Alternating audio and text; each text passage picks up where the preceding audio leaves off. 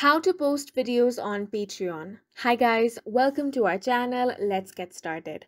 First open up a web browser and go to patreon.com. Then make sure you have logged into your account. Once you have, click on create. From here choose video. Now, if you have a URL that you want to post over here, insert your link here. Then as you can see, the video is right here.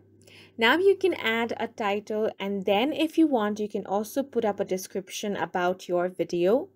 Now, if you want to add attachment, you want to click on upload and then select your attachments from here. Now click on next. Here you need to put up the publish options. So if you want this to be for everyone, click over here or you can also select paid members. Then if you want to allow comments, you can simply allow it. If you want to schedule your post, you can do that from here. Now you can add some tags from here.